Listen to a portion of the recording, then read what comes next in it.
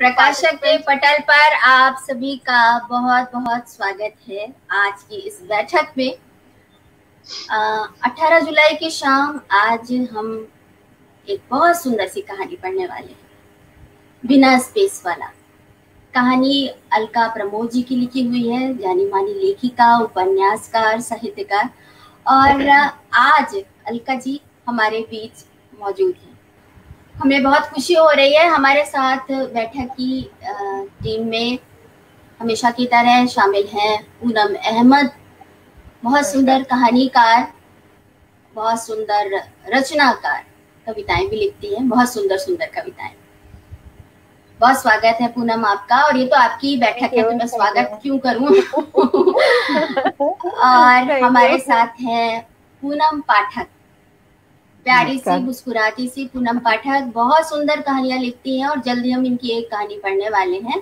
पूनम जी आपका भी बहुत बहुत स्वागत है। और हमारे साथ मौजूद है पूनम मित्तल। पूनम मित्तल हेलो। मैं थोड़ा परिचय दे देती हूँ बाकी आ, अपने बारे में जब ये लोग कुछ कहना चाहेंगी तो बताएँगी। पूनम मित्तल जी यूँ तो स्पोर्ट्स पर्सन हैं। उनको स्पोर्ट्स में बहुत दिलचस्पी है थोड़ा बहुत पढ़ती लिखती भी हैं। लेकिन खास तौर से उनको गाने में बहुत दिलचस्पी है और डांस में बहुत दिलचस्पी है। तो ललित कलाओं में इतनी दिलचस्पी के साथ पूनम का ये एक नया ये जो है प्रयास है इसमें। हालाँकि हम तीन कहानी में आप देख चुके हैं और उसमें उनको बहुत सारी सराहना भी मिली है। पूनम मित्तल एक बार फिर आपका बहुत बहुत स्वागत है। तो पी थ्री की ये टीम जो है हमारे साथ एक बार फिर मौजूद है। और आज की बैठक में हमारी बैठक का हिस्सा बन रहे हैं एक नौजवान साथी। बहुत प्यारे से वकार। वकार आपका बहुत बहुत स्वागत है वकार रहमान। बहुत सुंदर बोलते हैं और आवाज़ के धनी है कलम के धनी है और इसके साथ ही साथ मीडिया से बड़ी शिद्दत से जुड़े हुए हैं। आ, मतलब इनकी रूट्स जुड़ी हुई हैं। तो आ, वो असर इनकी बातचीत में इनके लहजे में दिखता है। वकार आपका बहुत बहुत स्वागत है बैठक में और हमारा हिस्सा बनने के लिए बैठक का हिस्सा बनने के लिए बहुत बहुत धन्यवाद। और हमारे साथ आज की इस बैठक में शामिल हैं अशोक हमराही जी। अशोक हमराई जी आ, हमारे साथ एक पात्र के रूप में मौजूद हैं और आ, उनका वरिष्ठ पत्रकार हैं रचनाकार हैं और ललित कलाओं में उनकी बहुत ही दिलचस्पी रही है और हमें समय समय पर उनका मार्गदर्शन भी मिलता रहा है। अशोक जी का बहुत बहुत धन्यवाद बैठक में हमारा साथ देने के लिए। तो अब हम कहानी शुरू कर रहे हैं बिना स्पेस वाला। नेहा? तूने ये बहुत अच्छा किया जो बेटी गोद ले। ली मेरा जीवन बदल गया। नहीं तो कितनी फ्रस्ट्रेटेड नहीं थी। धीरे बोलो रीमा। आर्या सुन लेगी तो गजब हो जाएगा। क्या? आर्या को पता नहीं है? यार मेरे हिसाब से तो बच्चे को सब बता देना चाहिए। नहीं नहीं मैंने आर्या को कुछ नहीं बताया है। वार्तालाप कमरे की दीवारों को लांघकर आर्या के कानों से जा टकराया। कुछ देर तो आर्या के मस्तिष्क में अंकित ही नहीं हो पाया कि बात उसी की हो रही है। और जब हुआ तो उसके रोम रोम में कान हो गए ये क्या कह रही है रीमा आंटी? क्या उसी की बात हो रही है? हाँ मम्मी ने नाम तो उसी का लिया है। उसे लगा कि कोई भूकंप आ गया जिसमें उसका अस्तित्व पहचान सब रह गया। और रह गया वहाँ एक मिट्टी का ढेर। जिसका ना तो कोई आकार था ना अतीत का कोई चिन्ह जिससे उसकी पहचान हो। ये स्थिति असह्य थी। वो धड़धड़ाती हुई मम्मी के पास पहुँची। मम्मी ये मैं क्या सुन रही हूँ? आप लोग मेरे मम्मी पापा नहीं हैं?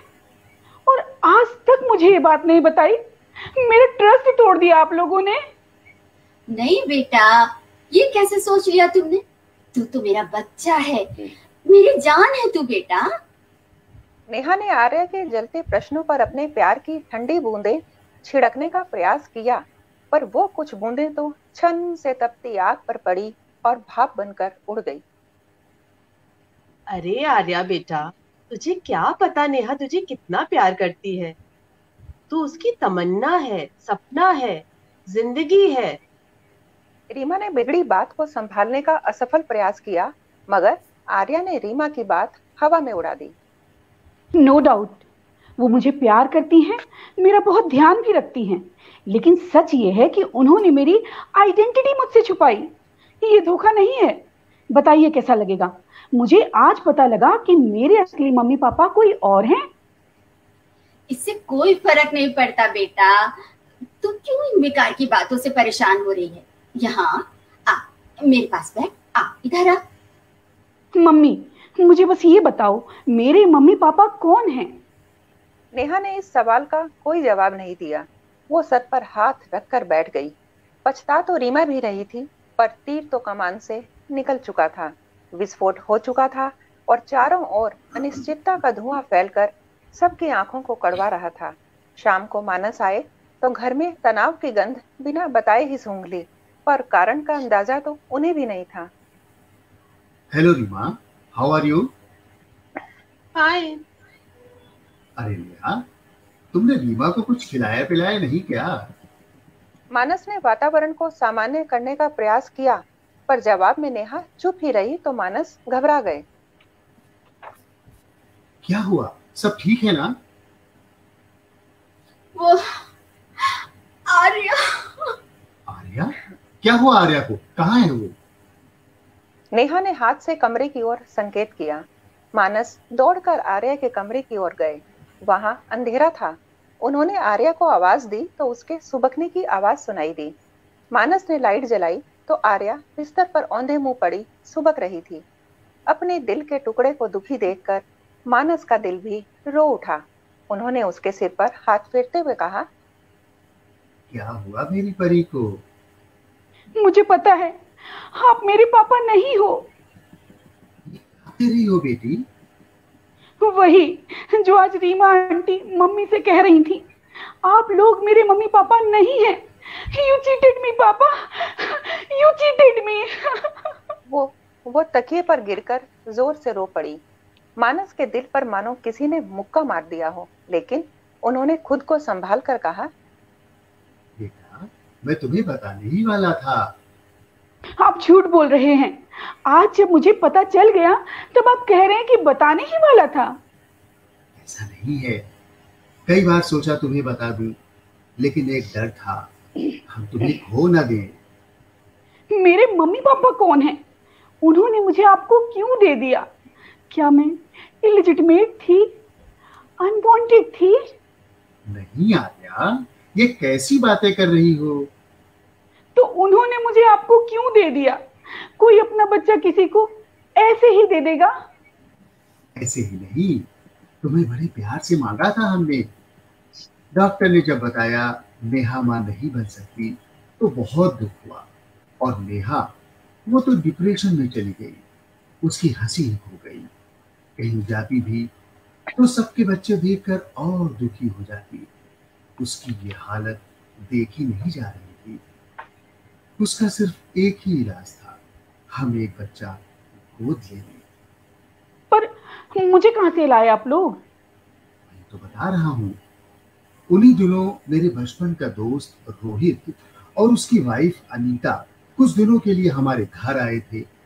उनके दो बच्चे थे और अनीता फिर से माँ बनने वाली थी। रोहित की नौकरी छूट गई थी और वो उन दिनों बहुत परेशान था पैसों की तंगी थी। तो उन्होंने अपनी गरीबी की वजह से मुझे आपको दे दिया? रोहित कंफ्यूज था। करे तो क्या करे? और इधर हम बच्चे को तरस रहे थे। हमने उनके सामने झोली फैला दी। उन्होंने हमारी झोली भर दी। और तुम हमारी गोद में आ गई। यानी कि मैं एक अनवांटेड चाइल्ड थी। उन्होंने आपको देखकर मुझसे छुटकारा पाया। कैसे हो सकती है? तू तो है मम्मी पापा की मोस्ट वांटेड आर्या। है ना? है ना? है ना? पापा। नेहा भी रीमा को भेजकर आ गई। आर्या को हँसते देखकर उसकी जान में जान आई। उसने उसके सिर पर हाथ फेरते हुए कहा चलो हँसी तो मेरी बेटी। पता है तू कौन है? तू है इस घर की रौनक। मेरे कलेजे का टुकड़ा है तू। और मेरे भी। एक बात पूछूँ आपके पास मेरे मम्मी पापा की फ़ोटो तो होगी ना? तुम्हारे मम्मी पापा? मतलब मेरे बायोलॉजिकल मम्मी पापा? हाँ है दिखाता हूँ। मानस अलमारी से पुरानी फ़ोटो निकालने दूसरे कमरे में गए। नेहा पीछे पीछे आकर बोली यह क्या कर रहे हैं? आर्या को रोहित और अनीता की फ़ोटो दिखा रहा हूँ। आपको हो क्या गया है? मेरी बच्ची कहीं उनके पास चली गई तो हम उसके बिना कैसे जिएँगे? देखो वो बच्ची नहीं है। उन्नीस साल की हो गई है। उसे सब कुछ पता चल ही गया है। तो उसके सवालों के जवाब तो देने ही होंगे ना। हम ये भी तो कह सकते हैं ना कि हमारे पास अब उनका फ़ोटो पता कुछ नहीं है। उसे न बताने से ही उसका विश्वास टूटा है। अगर चाहती हो वो हम पर भरोसा करे तो उसे सब कुछ बताना ही होगा। नहीं तो उसे चैन नहीं मिलेगा। हो सकता है हम उसे खो भी दें। नहीं ऐसा मत कहो। कहकर नेहा चुप हो गई। काश उसे पता होता कि रीमा उसके जीवन में इतना बड़ा बवंडर ले आएगी। तो वो उसे अपने घर कभी भी आमंत्रित ना करती। मानस और नेहा ने रोहित और अनीता की फ़ोटो आर्या को दिखाई। आर्या बहुत देर तक फ़ोटो देखती रही और कुछ सोचती रही। मानस और नेहा कोई अंदाज़ा नहीं लगा पा रहे थे कि आर्या के मन में क्या चल रहा है। आर्या ने एक और धमाका कर दिया। पापा मुझे इन लोगों से मिलना है। इन लोगों से? पर बेटा ये लोग तो अमेरिका में रहते हैं। अमेरिका में? हाँ बेटा कुछ सालों बाद रोहित को अमेरिका में जॉब मिल गई थी और वो वहीं शिफ्ट हो गए। तो मेरी उनसे फ़ोन पर बात करवाइए और प्लीज़ ये मत कहिएगा कि आपके पास उनका कांटेक्ट नंबर नहीं है। आर्या ने मानस और नेहा के सामने इनकार करने के सारे रास्ते बंद कर दिए थे। नेहा के पैरों तले धरती खिसक गई। वो बेचैन होकर टहलने लगी। उसने आर्या को विश्वास दिलाने का पूरा प्रयास किया कि वो उसे कितना प्यार करती है, उसके बिना नहीं रह सकती। पर आर्या को एक ही धुन थी कि उसे अपने मम्मी पापा से बात करनी है, मिलना है। हार कर मानस ने रोहित को फ़ोन करके सारी बात बताई और आर्या से बात करने को कहा। वो चाहता था कि रोहित आर्या को समझाए कि अब उसके मम्मी पापा मानस और नेहा ही हैं, पर उसकी आशा के विपरीत रोहित ने तो उसे अमेरिका आने का आमंत्रण दे डाला। यार रोहित तुम ये क्या कह रहे हो? तुमको तो आर्या को समझाना चाहिए था। तुम उसे अमेरिका बुला रहे हो। इस तरह तो वो हमसे दूर हो जाएगी। और कहीं वो वहीं रुक गई तो हम उसके बिना नहीं रह पाएँगे। अरे यार ठीक है। मैंने उसे तुमको दे दिया। और वो हमारा खून है। उससे मिलने का एक बार देखने का तो हक बनता है हमारा। आर्या ने खाना पीना छोड़ दिया। एक तो अपने जन्मदाता मम्मी पापा से मिलने का कौतूहल और अमेरिका घूमने का आकर्षण।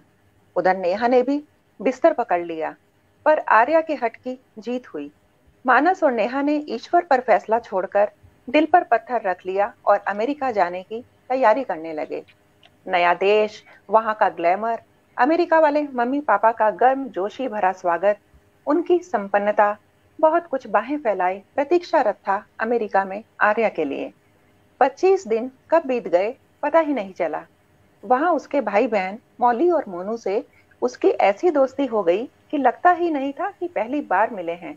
शायद इसी को कहते हैं कि खून खून को खींचता है। जाने का समय करीब आने लगा।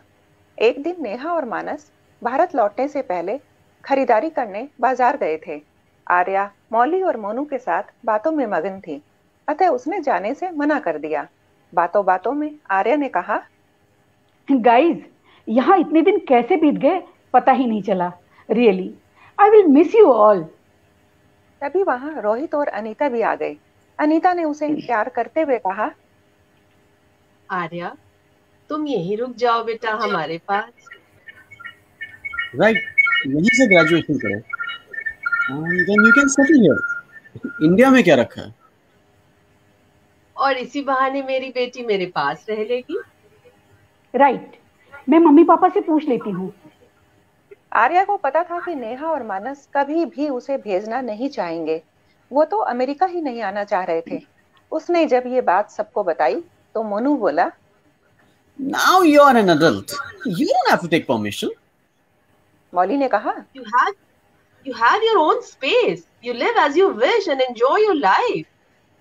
How lucky you are. You have two parents. lucky my foot. अरे यहाँ तो हमें एक मॉम डैड की रोक टोक से परेशान है। इस बेचारी को तो दो दो झेलने पड़ेंगे। Arya but you must ask your parents Neha और मानस बाज़ार से लौटकर पैकिंग कर रहे थे कि तभी आर्या आई और नेहा से बोली मम्मी ये लोग कह रहे हैं मैं यहीं से ग्रेजुएशन कर लूँ। क्या? तो तुमने क्या कहा बेटा? वैसे आइडिया बुरा नहीं है। अरे तुम रह लोगी हम लोगों को छोड़कर? ओफो मम्मी आपको छोड़ने को कहाँ कह रही हूँ? मैं तो बस यहाँ पढ़ने की बात कर रही हूँ। वैसे भी इंडिया में मैं कौन सा आपके पास रहती? दिल्ली बैंगलोर चेन्नई इतनी सारी यूनिवर्सिटी के फॉर्म भरे हैं। जहाँ एडमिशन हो जाता वहीं चली जाती। तो फिर अमेरिका ही क्यों नहीं? आर्या वहाँ की बात दूसरी है बेटा।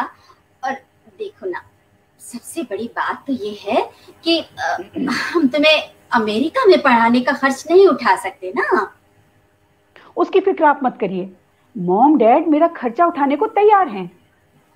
क्यों? वो तुम्हारा खर्च क्यों उठाएँगे? तुम हमारी बेटी हो। पर अगर वो अपनी खुशी से मेरा खर्च उठा रहे हैं तो आपको प्रॉब्लम क्या है? मानस उठकर रोहित के पास गए और कहा रोहित तुम मेरी बेटी को क्यों भड़का रहे हो? तुम भूल रहे हो कि मैंने तुम्हें अपनी बेटी दी है। पर आर्या कानूनन हमारी बेटी है। तुम अब उसे हमसे नहीं ले सकते। मानता हूँ मानस अब वो तुम्हारी बेटी है। ये सच है कि उस वक्त हम एक और बच्चे के लिए तैयार नहीं थे। और इसी माइंडसेट में जब तुमने मुझसे बच्चा मांग लिया तो मैं मना नहीं कर पाया। हमने तुम्हें अपनी बेटी दे तो दी पर बाद में बहुत पछता है। इस बात के लिए अनीता आज तक मुझे कोसती है। ये कहो अब तुम्हारी नीयत में खोट आ गया है। नहीं मानस तुम्हारी बात समझो। तुमसे आर्या को छीनना नहीं चाहता। पर आज जब मेरे पास सब कुछ है तो मेरे मन में अक्सर आता है कि मौली और मोनू की तरह आर्या को भी अच्छी एजुकेशन मिले। और यकीन मानिए भाई साहब वो आपकी ही बेटी रहेगी। हम तो सिर्फ़ उसका फ्यूचर बेहतर बनाना चाहते हैं। मानस और नेहा को यह प्रस्ताव मंजूर नहीं था पर आर्या को तो मानो जादू की छड़ी हाथ लग गई थी जो उसे झिलमिलाते सपनों के संसार में ले जा सकती थी। इस तीव्र प्रकाश की चकाचौंध में मानस नेहा का प्यार दुलार, सब धूमिल पड़ गया था। न आर्या को मानस के तर्क मनोहार दिखाई दिए, सुनाई दिए, न नेहा के आँसू दिखाई दिए। उसे तो बस अब अमेरिका में पढ़ना था। अमेरिका में पढ़ना रहना हर युवा का सपना होता है। उसे अवसर मिल रहा है तो फिर वो इसका लाभ क्यों ना उठाए? नेहा और मानस के संसार में अंधेरा छा गया। पर वो क्या करते जब आर्या वापस आने को तैयार ही नहीं थी? आखिर उन्हें उसे वहीं छोड़ कर आना पड़ा। समय बीतता गया। एक शाम मानस और नेहा चुपचाप बैठे थे। उन्हें पता ही नहीं चला कि कब चाय ठंडी हो गई।